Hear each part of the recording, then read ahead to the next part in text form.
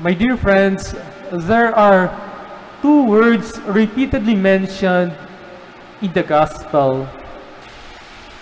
And in our everyday language, we often use these two words interchangeably.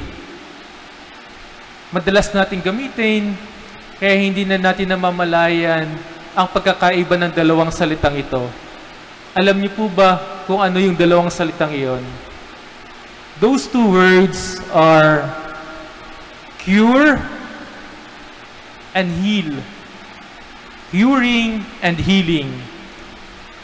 In Jesus' ministry and, and in our spiritual lives, they hold distinct meanings. Curing refers to the physical act of removing a disease or an ailment. It is a technical medical term being used aimed at eradicating symptoms and restoring physical health. When Jesus cured the blind, the lame, and the lepers, He removed their physical afflictions, demonstrating His divine power. On the other hand, healing encompasses a more holistic restoration. It is not just physical healing. It is not merely the absence of disease or ailment, but the presence of wholeness, peace, emotional, psychological, and spiritual well-being. Healing compared to cure addresses the root causes of suffering with a spiritual, emotional, or spiritual. Kaya hindi po ba kapag mayroong pinagaling ating Panginoon, sinasabi niya, Your faith has healed you. Your sins are forgiven. Because His ministry is not just about curing our diseases, it is giving us healing, restoration of our well-being. It is a journey toward wholeness, reconciliation with God, with others, and with oneself. Hindi po ba kapag sinabi nating wholeness, holistic, holiness, buo, binubuo tayo ng Diyos. Wholeness is holiness. Some spiritual fathers would say. And so we say that Jesus' ministry was life-giving precisely because it beyond it, it went beyond curing.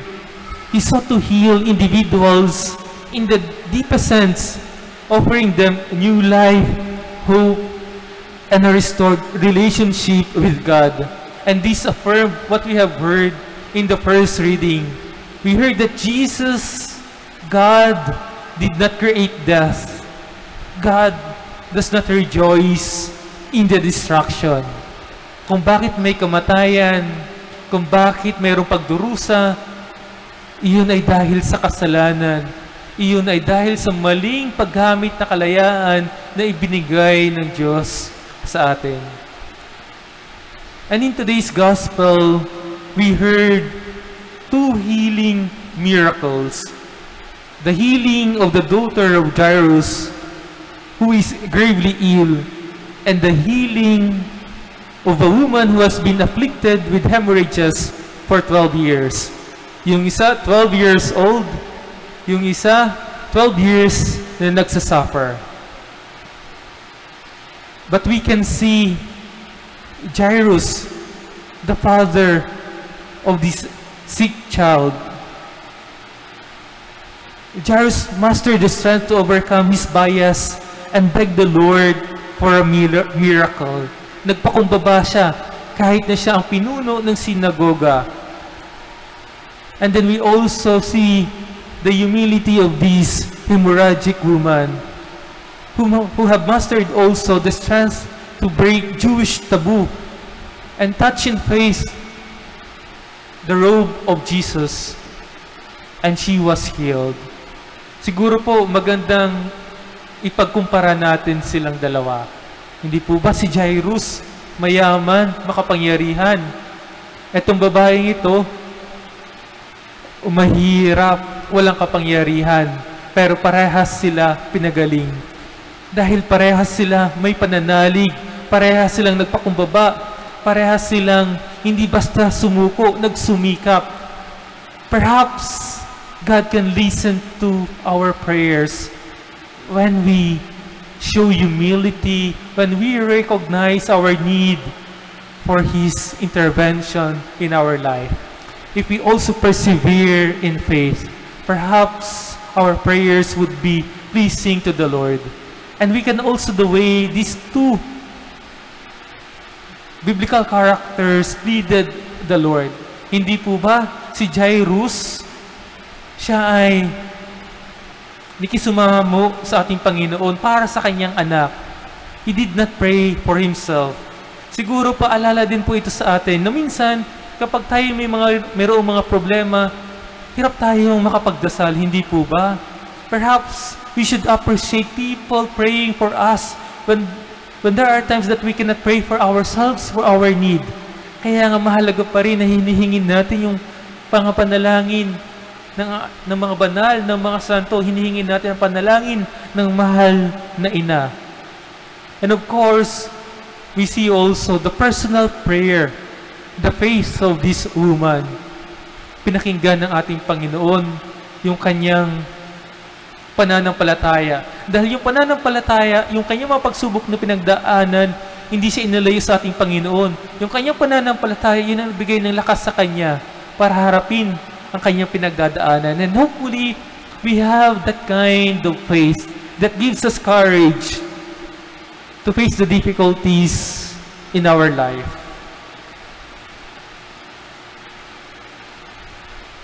My dear friends, Jesus came to save us.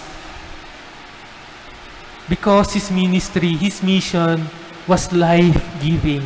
Kapag sinabi po natin, Jesus saves us, He saves, He is concerned not only with our soul, spiritual well-being, He is also concerned with our body and material well-being. And so when we say also He loves us, He loves not just our souls, but also our body, our human flesh. That is why we celebrate the mystery of incarnation.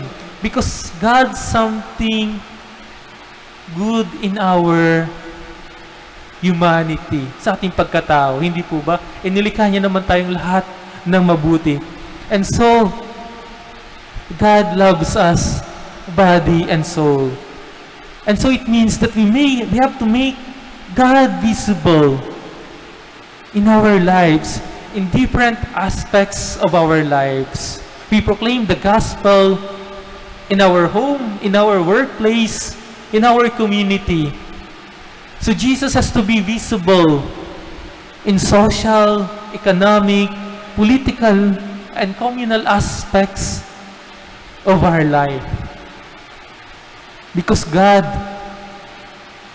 is concerned with our salvation, body and soul, spiritual and material. My dear friends,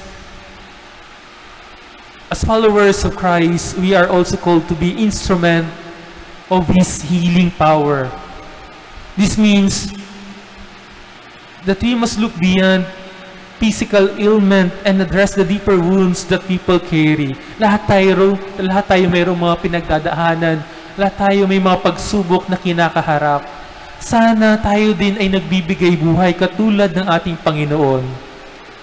Sana hindi tayo nagiging dagdag pasanin, parusa sa ating mga kasama.